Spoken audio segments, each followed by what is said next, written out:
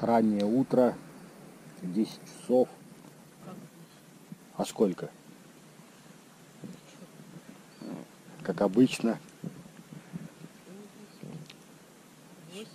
8. Ну, 8, ладно, сегодня мы рано встали. Мы уже попили кофе. Вот просушиваем палатку. Конденсат был. А вообще ночь была очень теплая. Навес вот просушиваем. Им на ночь накрывали рюкзаки. Навес мы не подвешивали ночью на ночь. Палатка вот сохнет. Вообще очень-очень теплая ночь была такая хорошая. Сейчас вот насекомые пропали куда-то. Вчера было прям жуть здесь полная. Сначала мошка, а вечером мошку сменили комары. Туман утром был на реке, сейчас пропал. Сегодня будет 22 день нашего путешествия. Напротив нашей стоянки на другом берегу, вон на той скале, вот на самой верхней точке стоит деревянный крест. Сейчас его отсюда плохо видно, он к нам стоит боком. Когда мы спускались по реке, его было хорошо видно. Все по крафт снарядили, костер залили, все вещи упаковали. Стартуем. И двигаемся пока совсем недалеко, вот сюда вот на противоположный берег, чуть пониже, там где строения виднеются. Вот мы и приблизились к основной цели нашего путешествия, к бывшему поселку Усть-Бердыш, который уже не существует 120 лет. Там, где должен жить отшельник Вячеслав со своей женой. Об этом нам рассказали его родственники. Также по нашим данным, Рядом с этим местом, где-то недалеко, живут отшельники-монахи.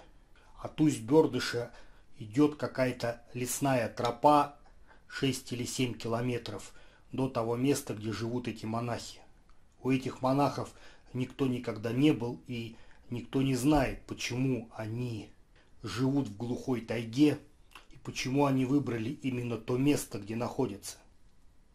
Мы договорились с Ольгой – если отшельника Вячеслава мы не застанем, и он будет отсутствовать, то мы поставим палатку и будем его ждать, сколько это потребуется. День, два, три.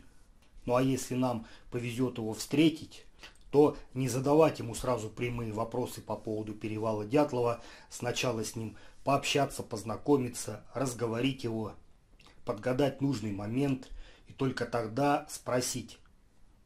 Но Неожиданно отшельник Вячеслав нашел нас сам.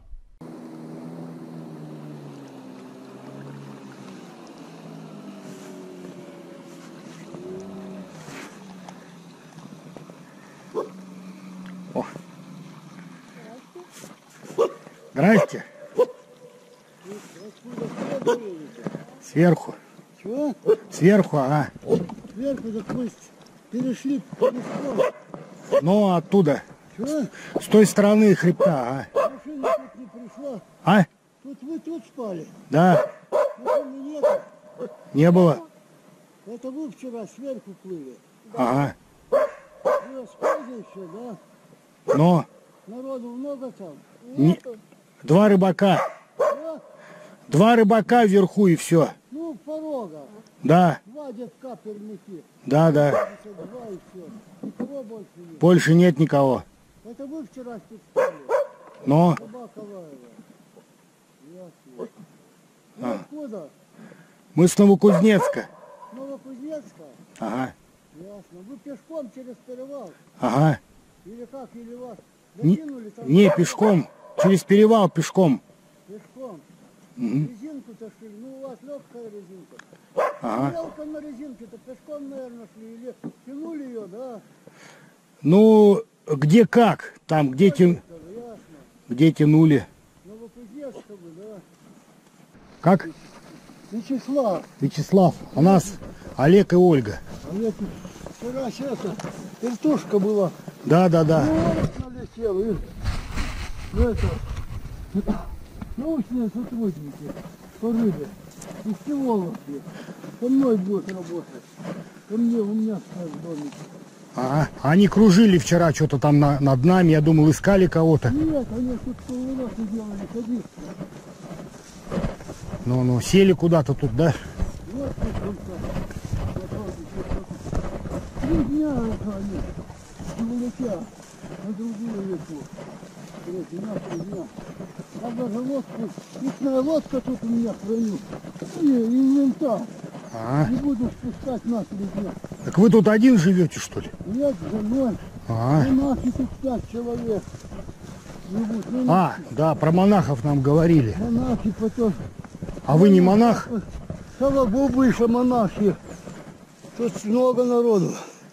Монахов пятеро, нас двое, семь. Девять человек зимой так живет. Зимой? Девять.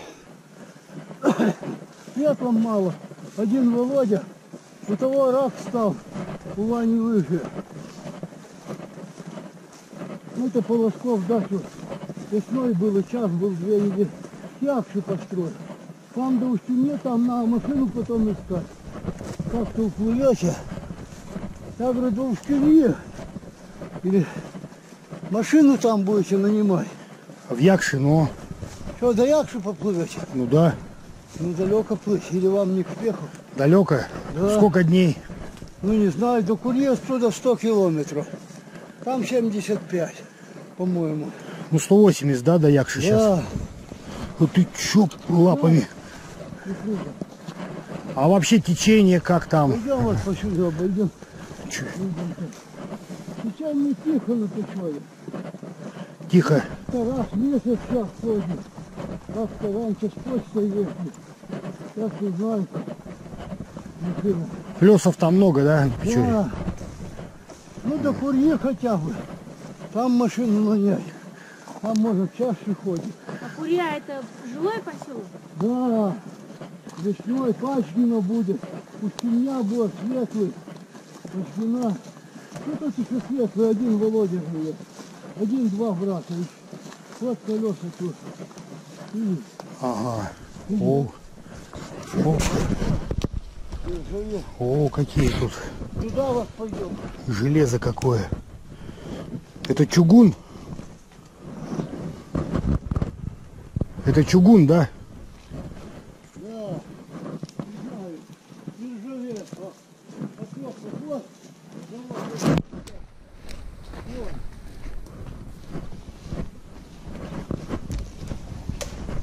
Вон колеса, маховики. Все уже, видишь? Маленько полосков вырубил, вырубить будет. Ходят вперед. Там на гору пойдете, полгору перед домиком. Вот там домик ниже будет, и в гору тропка есть. Увидите, на гору подниметесь наверх. Наискосок. Это, Олег Ольга. На гору подниметесь так, и полгору пойдете, там тропку увидите. Ага. О, какие маховики. А что здесь было раньше в этом месте? Что? Что здесь в этом месте было раньше? Кого? Прям здесь вот стоит. Детей же. Литей.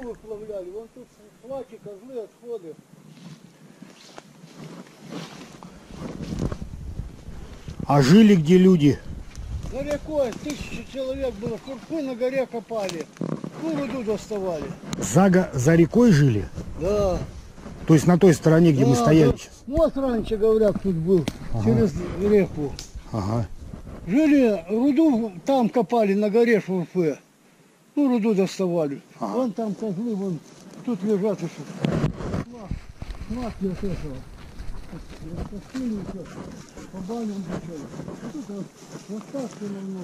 Ну это 1903 год, по-моему, да? 900, лежали, кашей. Вон один козел лежит. Шлак от, отходы руды. И тут где-то большие шлак. Это домный. Все заросло. Вон, вон. А что для завода место такое неровное, неровное выбрали? Не знаю, там его. Тут вода текла. Вон. А, вон что. Тут камни раньше красивых много было, свозили и все заросло. Тут ручей был, что ли? Да? Ручей был.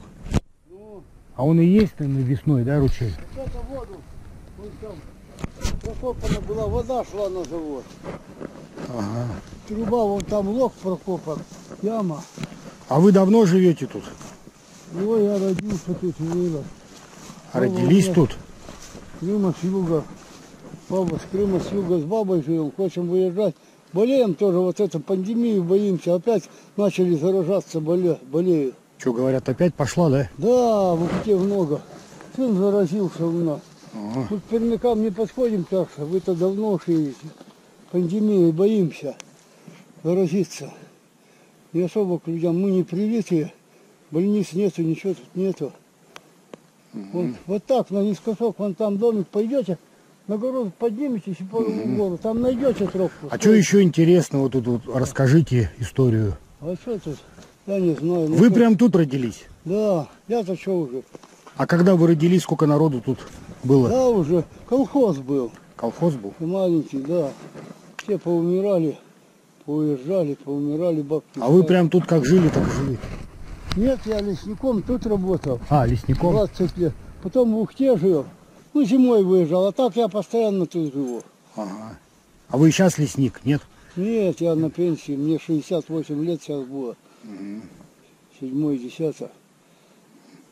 Болит, А граница заповедника, где она проходит-то вообще? По какой? Тут как заказник, там, Там? По Печоре А, идет. по Печоре, да? Заповедник. По горам-то ездят же машины, ходят. Мгм. на болваны туда-сюда. Не встречались там вам машины вчера в горах? Ну. Да вы уже давно они Раньше-то встречались. Наемные. Мы третий раз уже там на перевале. там. третий раз, ясно. Я А помню, вообще когда- тут рыбы-то уже нет, да, или есть? Да есть. Ну, ду- народу кишит. Туризм открыли. Тут кировские приезжают, с семьями.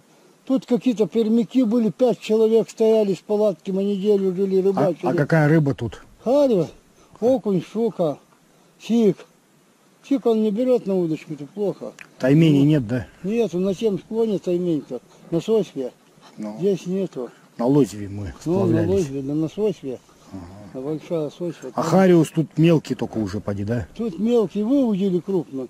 Мелочь, там-то крупный вверху-то был, вы рыбачили до порогов-то, да? Да, да. Ну вы что там, если хорошие блесны, мушки надо, блесны или надо. Короче, до порогов надо рыбачить, да? Да. До порогом там больше рыбы, да, рыбачить. До порогов-то тут меньше рыбы. Ну, в порогах есть, детки ловят, да. А вот Миссюря и река мы про- проходили, там Ну, есть рыба? Нету по Мещеряю. Нет? Раньше была не рыба, он под землю уходит, потом с-под земли текет. Вода оттуда холодная бежит. Ну, холоднее. Там ниже Чемейной. Вы, наверное, на Чемейной вчера спали, да? Ночевали, да. Ваня, наверное, мылись или Да, нет? парились. Парились, а? Ну. Сегодня вот до сюда, сегодня до Ущу не доедете 40 километров или не доедете? Не, если плесы такие же, то не, никак. Нет, тут перекатики несет по плесам тихо. Плесы, да.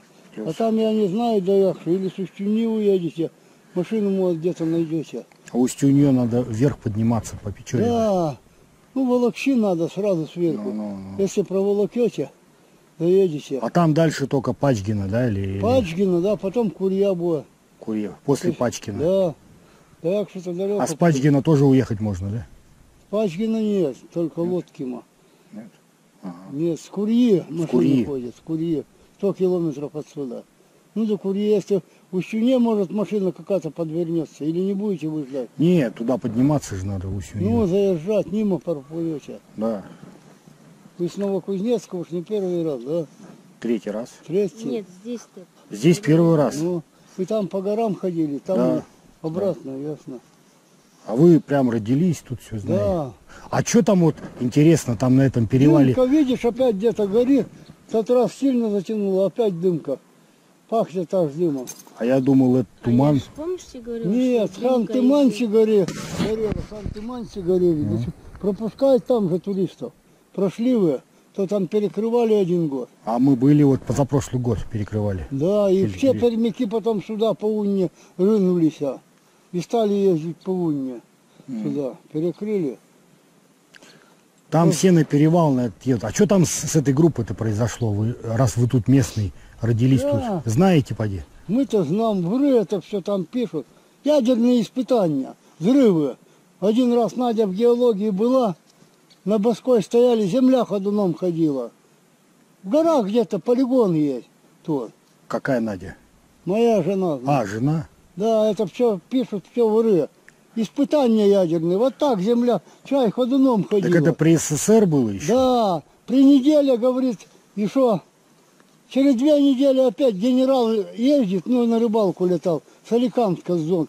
Через две недели опять тоже они улиц. Костер ходуном ходил, и эти, и палатки, и ходили вот так. На Боской это на 80 километров. А ваша супруга тоже тут родилась, что ли? Отсюда? Нет. Она воронежская, в Крыму жила. Она, вы говорите, Первомайская, Феодосия рядом. она там... Геология работала тут. в А, геолог она. ну. Да, в Ухте давно живет. Не хочет туда ездить. Крым ей не нравится там. И она была там, и говорит, э, был, был взрыв в это Ну, время? пишут, взрыв, взрыв. Под землей испытания идут, и земля ходуном. Была она раз свидетель. А тут пишут всякую мать в газетах. Врут все. Врут. Да, она сказала, ядерные испытания. Что только не пишут, вот они, стало их трясти, ходуном ходить зимой. И все, они выскочили с испугу.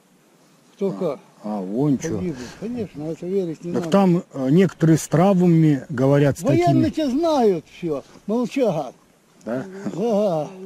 Так что Надя говорит, никакие там, ой, пишут там ступени, да что, манчи там их, все, все вры это. Надя говорит, все вры. Ядерные испытания, полигон.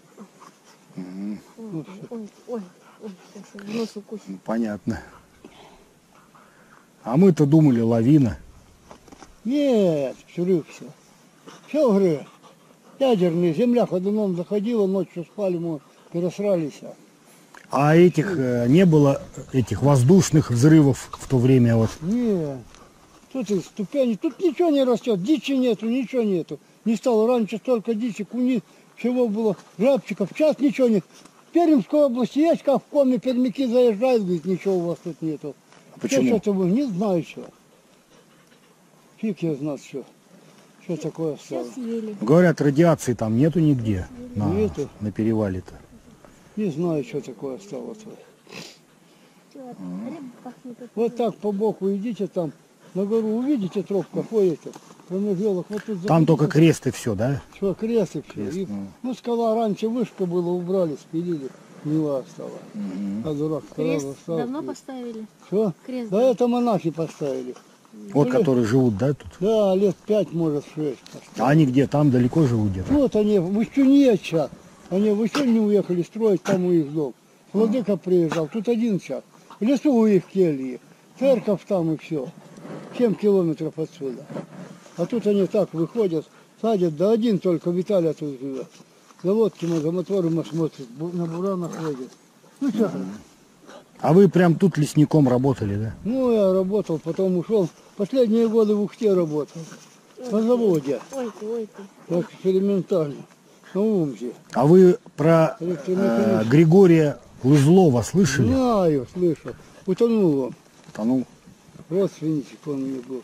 А, родственник ваш? Ну, Якша его схоронили, нашли потом, около берет. Якшу увезли. Бабка-то живая, дедка-то Поля умер, Поликарпа. Просто нас просили это расспросить. Там одна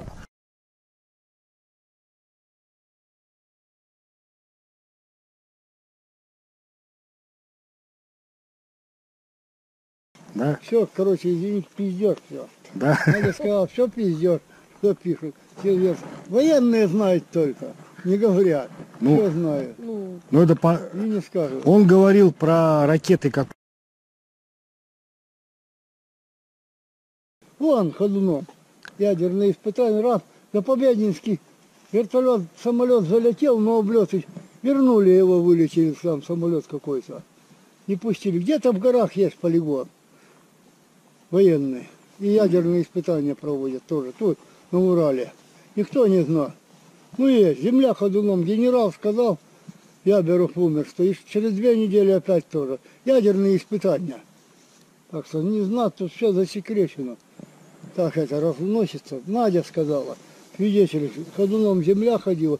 Так то же самое посмеялся, через две недели будет. Испытания ядерные проходят в горах и трясет землю ходуном. Так что это все вры, все туфта, что там пишут, верить ничему нельзя. Все вры. Да то что, говорит, то, что пишут, мы в это и не верим. да. И сейчас вон все по телевизору война идет, и бензин подорожал, 50 копеек был, 40 рублей, сейчас за неделю до 50 рублей подскочил бензин, литра. Ну и в городе также. Ну, я тут дешев 8 тысяч бочка была. Вот до этого, весной. Сейчас вот на этой неделе, буквально за неделю подскочил. Цены опять на сахар поползли. на Ну на войну-то кормить чем-то. Денег-то с людей надо брать, не с кого. А вообще ближайший магазин в каком поселке будет? В стене тут почта маленько. Нет, а вот там в Пачгино нет магазина, да? Пачкина нет в Курье. В Курье магазин. Курье вот есть, да, наверное, есть. Номер набирайте. А, а от Курьи до Якши далеко? 75, наверное, километров. До Волосницы 20. Да мы хотели эту, на лосиную ферму. Как Ну там через Курью, если поедете до Яхши, кого-то наймете, Вот эта информация по поводу подземных ядерных взрывов для нас оказалась очень неожиданной. Мы в нее, естественно, сразу не поверили. Но, когда мы вернулись домой, я стал копать информацию, я стал выяснять, где именно изготовлялись ядерные заряды для подземных взрывов, где именно их испытывали, и решил не торопиться выкладывать эту информацию, решил побольше накопать. Я за год накопал очень много, я изучил огромное количество материалов. Я изучил огромное количество мемуаров людей, которые этим занимались. Сейчас, естественно, загружать зрителей я сильно не буду именно в этом видео, потому что это видео маленько на другую тему. Здесь путешествия, сплав, туризм и работа с документами, какие-то факты, которые я нарыл, они маленько сюда не вписываются. Для этого я потом когда-нибудь сделаю отдельное большое видео, потому что материала очень много. Но в двух словах я обязан просто сказать свое мнение по поводу того, что заявил Вячеслав, потому что зрители хотели услышать версию Вячеслава. И, естественно, наверное, захотят узнать мое мнение по поводу этой версии. Поэтому буквально несколько слов. Вот что я нарыл. Ядерные заряды различной мощности производили в научно-исследовательском институте под номером 1011, почтовый ящик 150. Сейчас это город Снежинск, который находится на Урале, и немного об этом расскажу. В 1954 году Кирилл Иванович Щелкин, бывший тогда заместителем научного руководителя КБ-11, написал служебную записку в адрес правительства СССР. В документе обосновывалась необходимость создания в Советском Союзе второго ядерного центра. Предложение было принято, и в апреле 1955 года родился новый институт, за годы своего существования сменивший много названий. Но изначально он назывался научно-исследовательский институт 1011, почтовый ящик 150. Это был абсолютно секретнейший Всесоюзный научно-исследовательский институт технической физики, институт приборостроения для разработки новых типов атомного и водородного оружия. В 1957 году его сотрудниками будет разработан и испытан первый принятый на вооружение СССР термоядерный заряд. Вот именно такими термоядерными зарядами производили в том числе подземные ядерные взрывы. Всю информацию я собирал с сайта Росатома, с различных архивных документов, мемуаров сотрудников. За 1957-1988 года институт провел 40 специализированных экспериментов по изучению поражающих факторов при ядерных испытаниях. Научно-исследовательский институт производил заряды для стратегических ядерных сил. В 60-х годах также эти заряды будут применяться для народного хозяйства СССР. Вот информация с сайта Комитета госбезопасности по поводу этого научно-исследовательского института. Здесь очень мало информации, когда он был создан, что занимался он разработкой, испытанием, авторским и гарантийным надзором за ядерными зарядами и боеприпасами, где он находился, как он назывался, как он обозначался в каком году, кто занимался охраной этого режимного объекта. Вот их фотографии, вот их имена. Больше никакой информации нет. Во многих даже современных источниках я нашел такую информацию, что все работы, все испытания были и остаются засекреченными. И именно засекреченными по сегодняшний день. Если предположить, что Вячеслав не фантазирует, не выдумывает, и ядерные испытания в том числе проходили и в горах Северного Урала в непосредственной близости от Атартена, то кто именно мог руководить испытаниями зарядов, которые разрабатывались именно полевыми испытаниями? Кто тот самый генерал, про которого сказал Вячеслав, о котором рассказала супруга Вячеслава. Кстати, вот так вот если вдуматься, то этой супруге должно быть на 10-12 лет больше, чем самому Вячеславу. По-другому просто никак не может быть. Но Вячеслав не захотел нас познакомить с супругой, он нас даже не пригласил в дом, навязываться мы, естественно, не стали. Он нам по-быстрому показал разрушенный завод, который существовал 120 лет назад, и показал нам дорогу, как дойти до реки, напрямую. Так вот, по поводу того самого генерала. На сайте истории города Снежинска есть такая информация о подразделениях и сферах деятельности научно-исследовательского института – 15 января 1958 года в соответствии с постановлением Совета министров СССР и приказом Министерства среднего машиностроения была создана военно-сборочная бригада, которая была создана из кадровых офицеров вооруженных сил, которые во время войны руководили взрывными работами, разминированием и подобными задачами. И вот здесь вот фигурирует фамилия заместителя главного конструктора по внешним испытаниям инженера-полковника Ломенского. Это человек, который руководил всеми внешними испытаниями. Также он руководил всеми задачами, которые были возложены по ликвидации последствий различных аварий, связанными с ядерными материалами и радиоактивными веществами. На сайте Росатома есть статья «Воспоминания о Ломенском», его сподвижников, его друзей, его родственников. Это очень интересная статья, где можно почерпнуть много информации. Естественно, никакие секреты тут не выдаются Естественно, здесь не написано, где именно Ломинский проводил испытания, в каких именно авариях он участвовал. Но все же небольшие отрывки из этой статьи я приведу. Кто хочет, может сам ее найти на сайте Росатома и всю почитать, она очень длинная.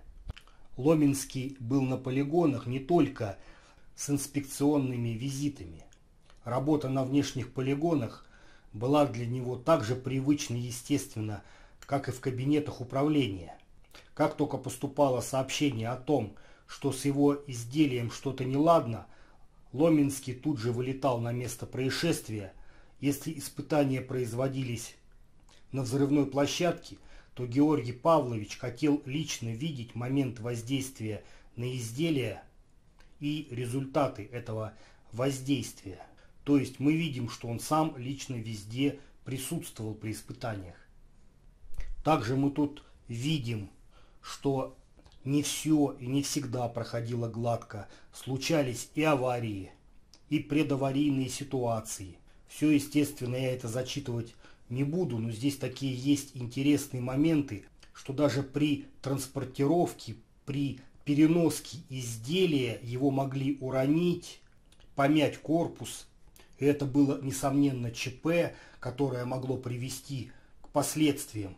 И как потом это все Ломинский исправлял, какие риски на себя брал и так далее. Какого именно уровня был этот человек, какого статуса. Вот я приведу небольшой рассказ свидетелей, которые присутствовали при разговоре по телефону, когда Ломинскому позвонили из обкома Свердловской области. В 70-е годы на товарной станции Свердловска произошел взрыв в одном из вагонов, в результате чего было разрушено несколько зданий в округе. Получив сообщение о происшествии, секретарь Свердловского обкома КПСС позвонил Ломинскому и спросил, не он ли является хозяином изделия, разрушившего товарную станцию Свердловска. Ломинский поинтересовался, откуда говорит звонивший, и получил ответ, что из обкома. Не без чувства юмора ответил, нет, это не наше изделие. Если бы сработало наше, не осталось бы ни обкома, ни Свердловска. Вот этот человек, этот генерал, мог позволить себе так ответить первому секретарю Свердловского обкома партии. А это о многом говорит. Вообще, на самом деле, есть официальная статистика по ядерным подземным взрывам. И официально считается, что самый первый удачный ядерный взрыв был произведен в 1961 году. Но как эти изделия испытывали, какие были аварии, какие были последствия, какие были жертвы, эта информация вся засекречена. Правда, никто не скрывает, что эти аварии были, что последствия были и жертвы были. Насколько часто применяли ядерное оружие на Урале, это тоже информация не закрытая. В те годы еще не совсем понимали, что такое радиация, какие ее последствия. И вот приведу такой факт. Даже в 1971 году, уже через 12 лет после гибели группы Дятлова, вот совсем недалеко от того места, где мы сейчас с Вячеславом разговариваем, прошло три ядерных взрыва, когда хотели перебросить стоки северных рек в бассейн реки Волги. То есть реки, которые впадают в Печору, хотели повернуть на юг при помощи ядерных взрывов, пустить их по другому руслу, а это русло сделать при помощи 250 ядерных взрывов. И первые три взрыва произошли. Они были. Сейчас на этих местах находятся озера, радиоактивные озера. И вот после того, как первые вот эти взрывы прозвучали, от остальных просто отказались, потому что радиация превышала все допустимые нормы. А так как эта вода предназначалась для наполнения Каспийского моря, она не должна быть радиоактивной. Но кому-то в голову уже пришло попробовать начать. Вот такие раньше были времена. Засекречивали все. Кстати, эти взрывы тоже были засекречены. О них уже узнали позже, после перестройки. А там ведь совсем недалеко люди жили, местные жители, были какие-то деревушки в тайге, была, велась какая-то деятельность. Сейчас вся эта территория перекрыта, туда не рекомендуют ходить, посещать эти места. Ходят слухи, что в эти карьеры, в эти озера потом утилизировали, сливали различные химические токсичные отходы. В те годы о природе абсолютно не заботились, так как это происходит сейчас. И еще раз хочу повторить, Вся информация засекречена. Никто не будет нам говорить, что первый ядерный взрыв произошел не, не в 61 году, а, допустим, в 59 но он был неудачный, при этом погибли люди. Если это и было так на самом деле, то мы об этом вряд ли когда-то узнаем. Гриф секретности никогда не снимут. Как вообще происходят подобные испытания? Сначала бурят глубокую скважину. Для этого нужна бурильная установка, которая может быть на гусеничном ходу. На перевал Дятлова может заехать гусеничная установка? Естественно, может. Раньше была дорога с Коми, как раз с тех мест, где производили ядерные взрывы. Потом эта дорога заросла, сейчас эту дорогу опять прорубают, но она была. То есть вездеход мог заехать. Вот это бурильная установка, бурит глубокую скважину. Обязательно туда заводят обсадную железную трубу. По этой трубе спускают ядерный заряд на глубину примерно от 500 до 800 метров. Это для того, чтобы после взрыва ядерные испарения, радиация не попала на поверхность. Потом эту трубу запечатывают, запечатывают бетоном, бетонной пробкой, но перед этим опускают диагностическую аппаратуру. Также диагностическую аппаратуру расставляют везде по периметру на разных расстояниях для того, чтобы фиксировать. Подрывается заряд с внешнего пункта управления, который находится в непосредственной близости. Я еще здесь почитал последствия. Какие последствия после небольшого ядерного взрыва могут быть? Во-первых, образуется полость. Полость с оплавленными стенками.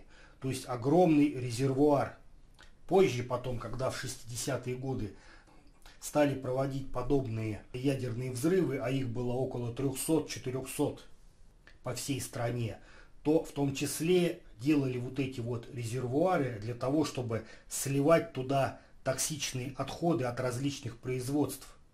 Туда их заливали, потом запечатывали, и было такое своеобразное захоронение. А на поверхности происходило обычное землетрясение землетрясение довольно мощное. Именно над эпицентром этого взрыва землетрясение могло быть от 5 до 7 баллов. Это когда земля трясется и подпрыгивает на высоту пятиэтажного дома.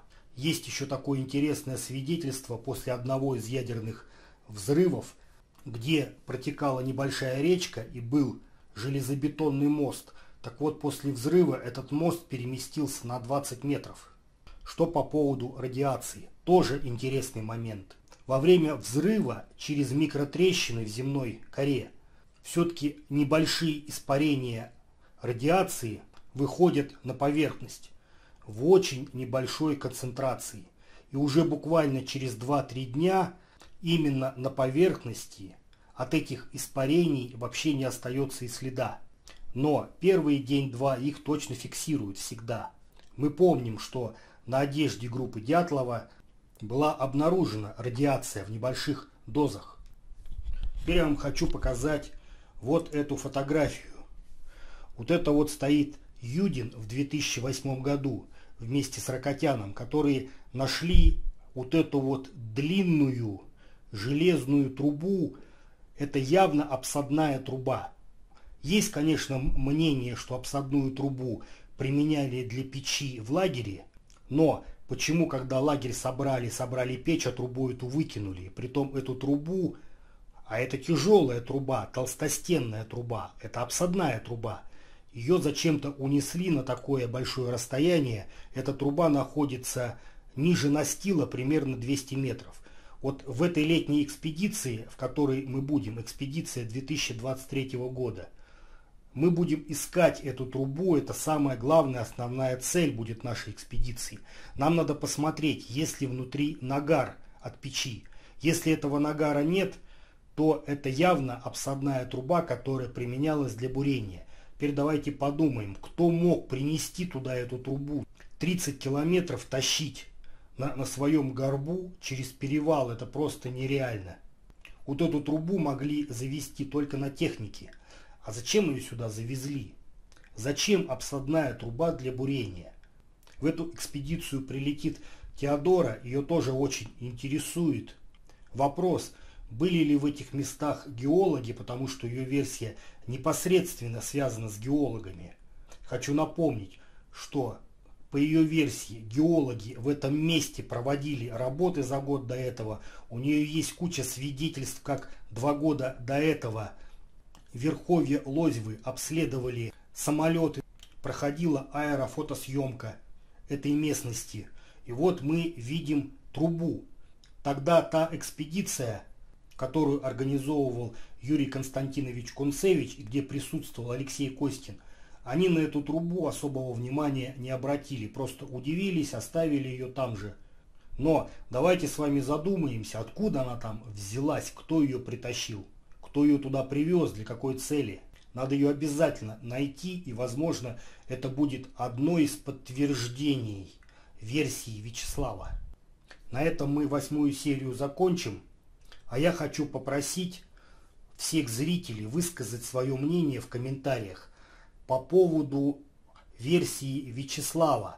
Все за и все против. Хочу сразу предупредить тех безголовых тупых комментаторов, которые будут опять писать о том, что там ничего подобного не могло произойти и группу Дятлова кто-то убил, я их сразу забаню, потому что уже достали все эти бредни. Группу Дятлова никто не мог убить. Тем более не могли убить их Манси, потому что с места происшествия никто не выходил. Это абсолютно точно доказано в моем другом видео, которое совсем недавно вышло на моем канале. Ссылку на это видео я оставляю. Кто его не видел, посмотрите. А под этим роликом я предлагаю обсудить именно версию Вячеслава. Все за и против. Потому что, по крайней мере, эта техногенная версия, она намного умнее и грамотнее половины всех версий, которые выдумывают ютубовские блогеры, плагиаторы и другие психически больные люди. Всем спасибо за просмотр. Не забудьте поставить лайк этому видео. Не забудьте подписаться на канал. И ждите следующую девятую часть о том, как мы выбирались в цивилизацию по дебрям Коми именно по тем местам, где когда-то в 60-е годы провели три ядерных взрыва и загубили природу.